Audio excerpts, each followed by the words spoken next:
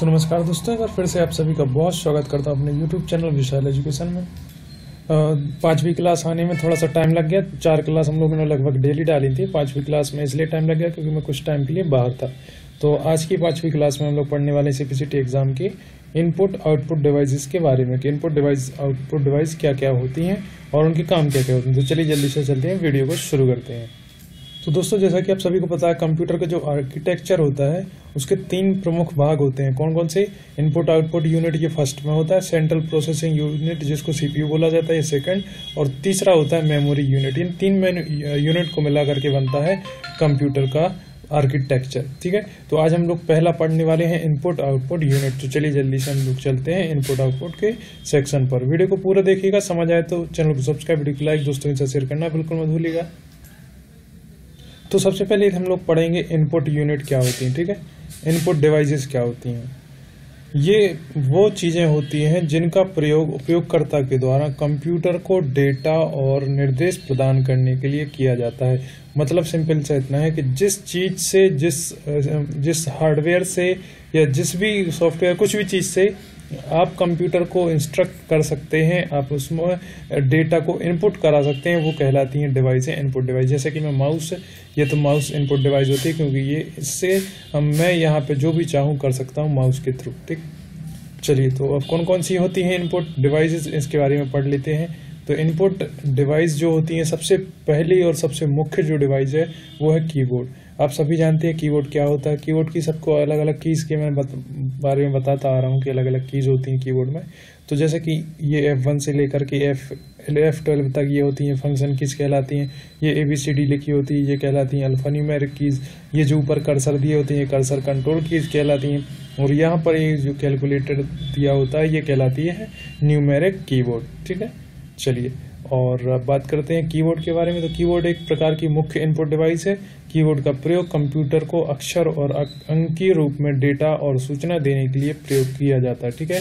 Keyboard एक सामान्य तरह का टाइपराइटर की तरह दिखता है, किंतु इसमें टाइपराइटर की अपेक्षा कुछ ज़्यादा कीज होती हैं, ठीक है? और इसको ज़्यादा इसमें बात करने की है नहीं तो मैंने बता दिया, पहला जो होता है कीबोर्ड इसकी मेन वो होती है इनपुट यूनिट अब इसमें बात करें कि कौन कौन सी कीज़ होती हैं तो सबसे पहले होती हैं अल्फ़ा न्यूमेरिक की मैंने आपको बताया। फिर होती है न्यूमेरिक कीज़ इसमें डिटेल्स में नहीं जा रहा, मैं आपको बता रहा हूँ कि ये ये चीज़ें होती हैं। फिर दूसरी होती है फ़ंक्शन कीज़ मैंने आपको बताया। कर्सल कंट्रोल कीज़ जो अप डाउन होम एरो ये सब चीज़ें होती है इसमें, ठीक है? और कीबोर्ड की अन्य जो कीज़ होती हैं, जैसे कंट्रोल कीज़ होती हैं, उसमें आप शॉर्टकट बना सकते हैं ना कंट्रोल के साथ उसमें चीज़ों को यूज़ किया जाता है। एंटर की होती है शिफ्ट को, ये अलग अलग है, लेकिन जो मैंने बताई वो कहलाती हैं पूरी ग्रुप की कहलाती हैं, है ना? चलिए बैक स्पेस और सब बहुत सारी इसमें होती है नम लॉक टैब ठीक है? एंटर कुंजी कुंजी मतलब कीज़ ठीक है? अब फिर बात करते हैं अपन लोग पॉइंटर कीज़ की बात है। पॉइंटर पॉइंटर डिवाइस कौन कौन सी होती है? ये भी इनपुट डिवाइस है। तो पॉइंटिंग डिवाइस कौन सी? तो सबसे पहले तो ये आ जाता है अपना माउस बिना माउस पॉइंटिंग डिवाइस क्यों है? क्योंकि ये पॉइंट करके कोई भी चीज़ को बताता है। जैसे मुझे शिफ्ट की पर क्लिक करना है, यहाँ पर इस वाले ऑप्शन पर क्लिक करना है तो माउस को अपने ले जाके यहाँ पर मैं कुछ भी काम कर सकता हूँ, ठीक है? तो जैसे माउस को यहाँ रख के पॉइंट कर सकता हूँ। ये कहलाती है पॉइंटिंग की मैं माउस से पॉइंट कर रहा हूँ तो ये कहलाती है पॉइंटिंग की तो पॉइंटिंग डिवाइस में सबसे पहले आती है माउस माउस एक प्रकार की पॉइंटिंग डिवाइस है। इसका प्रयोग कर्सर टेक्स्ट में आपकी पोजीशन दर्शाने और बिलिंग पॉइंट या वाइटर को एक स्थान से दूसरे स्थान पर ले पॉइंटर को एक स्थान से दूसरे स्थान पर ले जाने के लिए प्रयोग किया जाता है, ठीक है? जैसे कि आप कुछ टाइप करते हैं जब एम एस वर्ड में तो वो जो बिलिंग करते हैं ना तो वो बताता है कि माउस कहाँ पर आपका दिख रहा है। तो ये हो गया माउस ठीक है? माउस के आविष्कारक कौन थे? डगलस सी एंगल बर्ट ठीक है? कब इसका आविष्कार हुआ था उन्नीस में। ये टू पाई टू टाइप्स के होने लगे हैं। पहले केवल ये वायर माउस आता था, लेकिन अब वायरलेस माउस भी आने लगा है। तो वायरलेस माउस इसमें क्या होता है? वायरलेस में सेल डल के चलता है ये। एक डिवाइस आपके सिस्टम में फंसा दी जाती है और उसके थ्रू ये कनेक्ट करके सिस्टम से चलता है। और वायरिंग माउस को आप सभी को पता होगा कैसे काम करता है, ठीक है? माउस में एक लेफ़्ट क्लिक होता है, एक राइट क्लिक होता है, ठीक है? और बीच में ये दिया हुआ होता है उससे आप इस पेज को ऊपर या नीचे कर सकते हैं, ठीक है? चलिए, फिर उसके बाद आता है दूसरा pointer device track ball track ball का उपयोग क्या ट्रैक बॉल एक पॉइंटिंग डिवाइस है। ये माउस की तरह ही काम किया जा, करता है, लेकिन इसमें एक बॉल लगा होता है ऊपर की तरफ़। जैसे ये दिख रहा है आपको ट्रैक बॉल एक बॉल दिखाई देता है, ठीक है? ये इसका प्रयोग किया जाता है। कैड मतलब computer aided design work station होती हैं जो, और मैन्युफैक्चरिंग कंपनीज़ होती हैं, उनमें ये चीज़ों का काम होता है। अपने नॉर्मल प्रयोग में नहीं आती हैं चीज़ें, ठीक है? फिर आती है जॉयस्टिक जॉयस्टिक का काम क्या है? ये गेम खेलने के लिए काम में आता है, ठीक है? इससे आप कंप्यूटर में गेमिंग खेल सकते हैं, ये बड़े बड़े शॉपिंग मॉल्स में जाएँगे तो आपको ये जॉयस्टिक वगैरह लगे, दिखेंगे। तो इससे आप जैसे जैसे ये चलता है वैसे वैसे अपना सिस्टम को इंस्ट्रक्शन दिया जाता है, ठीक है? फिर आ जाता है लाइट पेन लाइट पेन से क्या होता है? एक light pen electro optical pointing device है। इसका प्रयोग ड्राइंग बनाने के लिए आप स्क्रीन पे कुछ भी ड्राइंग बना सकते हैं लाइट पेन के ज़रिए। मैं थोड़ा सा शॉर्टकट में बता रहा हूँ ताकि आपको चीज़ों को पता भी चल जाए और ज़्यादा उसमें काम नहीं। टच स्क्रीन पे आते हैं अपन। तो टच स्क्रीन भी एक प्रकार की आपकी इनपुट डिवाइस है, क्योंकि आप टच करके उसमें इन कर रहे हैं ना कोई भी चीज़ों को। ठीक है? फिर आता है ग्राफिक टैबलेट्स और डिजी राइटर्स कहलाते हैं जो। इसमें एक स्लेट होती है जैसी आपकी, बस उस स्लेट को ये बोलो कि इलेक्ट्रॉनिक स्लेट है वो। तो उस टाइप से वो काम करती है। फिर फिर आता है बारकोड रीडर ये जो कुछ आप प्रोडक्ट में देखते होंगे बारकोड लगे होते हैं, उन बारकोड्स को ये रिकोड करके बताता है जो इस बारकोड में कौन सी चीज़ छिपी हुई है। हर प्रोडक्ट का अलग बारकोड होता है। तो ये बार कोड रीडर का काम होता है। इस बार कोड को रीड करना कैसे दिखता है? हो सकता है आगे हमको फ़ोटो इसमें नहीं दी हुई। चलिए चलिए, चौथे नंबर पे आते हैं ऑप्टिकल मार्क रीडर जिसको ओ एम आर भी कहा जाता है। पहले जो क्या होता था, जो एग्ज़ाम होते थे, अब तो ऑनलाइन हो गए हैं। पहले जो एग्ज़ाम होते थे, उस एग्ज़ाम में जो कॉपी चेक होती थी, वो इसी के थ्रू चेक चेक होती थी ऑप्टिकल मार्क रीडर अब तो ऑनलाइन हो गया तो अब इसका उपयोग कम ही होता है। फिर आता है ओसीआर जिसको बोला जाता है ऑप्टिकल कैरेक्टर कैरेक्टर रिकॉग्निशन ठीक है? इसका प्रयोग क्या होता है?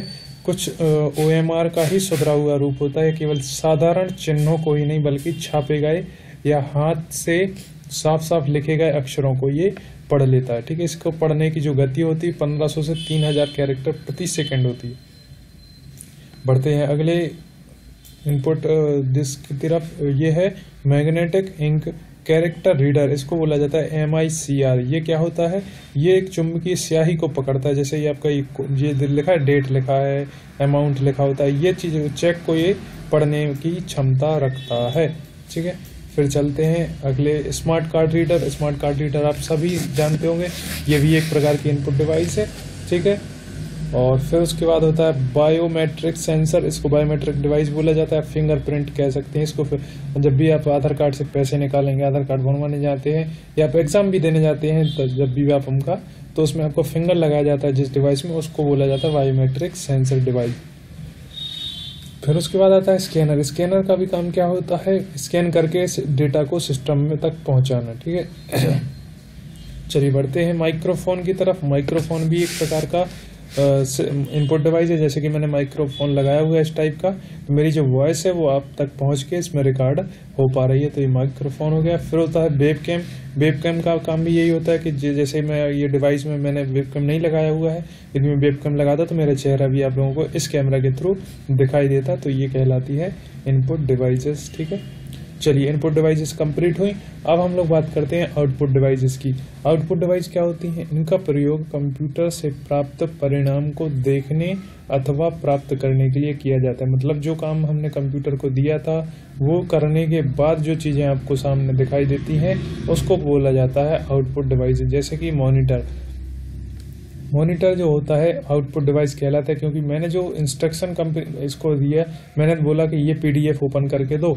तो ये पीडीएफ ओपन हो के आ गई तो ये कहलाई ये कहलाई आउटपुट मतलब अपने लिए जो इसने इनपुट अपन ने दिया था, उसका आउटपुट आपने सॉफ्ट कॉपी के रूप में इसने स्क्रीन पर दे दिया। तो ये कहलाता है, सबसे पहले monitor output device visual display devices भी कह लेते हैं इसको। ठीक है? इसमें स्क्रीन रेजोल्यूशन होता है डॉट पिच के माध्यम से इसमें दिखाई देता है। बिल्कुल छोटे छोटे से डॉट होते हैं इसमें। उसको मिला करके ये मॉनिटर का तैयार होता है। अब इसके बारे में हम लोग कभी और चर्चा करेंगे। अब फिर आता है कैथेड रेटिव जिसको सी टी बोला जाता है। ये मॉनिटर देख सकते हैं। पहले यूज़ किए जाते थे सी आर टी मॉनिटर अब फिर आ गए L C D L C D बहुत यूज़ किए जाने लगे हैं। और फिर उस फिर उसके बाद एलसीडी के बाद एक और है एलईडी जी लाइट एम्बेडेड डायोड कहलाता है। एलसीडी के जैसे ही काम करता है, थोड़ा सा डिफरेंट होता है। इसके बारे में हम लोग कभी और बात करेंगे सारे मॉनिटर्स में। फिर आने लगे थ्री डी मॉनिटर्स और फिर आता है अभी जो आजकल बहुत चलन में T F T thin film thin film transistor बोला जाता है जिसको। तो ये एलसीडी के जैसे ही एक प्रकार से काम करती है, बहुत ज़्यादा चलन में आजकल। तो ये हो गई। मॉनिटर्स फिर आता है। प्रिंटर्स जो प्रिंटर्स होते हैं, वो भी एक आउटपुट डिवाइसेस हैं, ठीक है? क्योंकि प्रिंटर आपको जो भी, जैसे में पीडीएफ को प्रिंट निकालना है तो ये कागज़ से प्रिंट निकाल के आपको सामने दे देगा तो ये प्रिंटर्स आउटपुट डिवाइस होगा एक टाइप की फिर, ठीक है? प्रिंटर के बहुत सारे टाइप्स होते हैं, वो हम लोग आज बात नहीं करने वाले हैं। वो हम लोग अलग वीडियो में बात करेंगे। Line printer drum printer non impact printer ठीक है? Laser printer thermal printer laser printer जो कि आजकल बहुत ज़्यादा चलन में है। ये सब चीज़ें आ गई प्रिंटर फिर उसके बाद होता है प्लॉटर प्लॉटर क्या कहलाता है? प्लॉटर ये है कि, जैसे आप फ्लैक्स देखे, हम फ्लैक्स वगैरह तो बड़े मतलब बड़े कागज़ पर बनाने के लिए, उस पर बड़े कपड़े पर प्रिंट निकालने के लिए प्लॉटर का इस्तेमाल किया जाता है, ठीक है? स्पीकर स्पीकर आपका आउटपुट डिवाइस है स्पीकर के माध्यम से आप साउंड को सुन सकते हैं, और फिर आता है हेडफोन तो सेम हेडफोन भी वही आउटपुट डिवाइस है, ठीक है? फिर आता है प्रोजेक्टर प्रोजेक्टर क्या होता है? प्रोजेक्टर आप समझते हैं। प्रोजेक्टर एक, ऐसा एक डिवाइस है जिसके माध्यम से आप किसी दीवार पर पर्दे पर वीडियो को देख सकते हैं। वो प्रोजेक्टर कहलाता है। फिर आता है इनपुट आउटपुट पोर्ट कौन कौन से पोर्ट होते हैं इनपुट आउटपुट में? तो ये मैंने एक वीडियो बनाई हुई है। वहाँ से जा करके आप देख सकते हैं। तो ये थी दोस्तों आज के लिए इनपुट और आउटपुट डिवाइसेस पर एक छोटी सी वीडियो यदि आपको वीडियो पसंद आई, चैनल को सब्सक्राइब वीडियो को लाइक ज़रूर करेगा और दोस्तों के साथ शेयर करना बिल्कुल मत भूलिएगा। चलिए मिलते हैं अगली वीडियो में, तब तक के लिए जय हिंद, जय भारत।